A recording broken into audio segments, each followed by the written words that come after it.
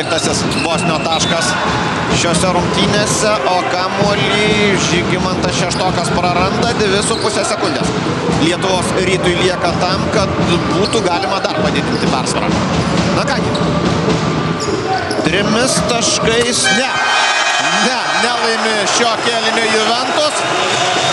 Grįžta ta pati 9 taškų persvara, kuri buvo labai lengvai leido išmesti kamuolį Bairamovičiui Juventus. Na, pirmiausia, todėl, kad metė iš labai toli. Iš ko ne nuo savo, nuo savo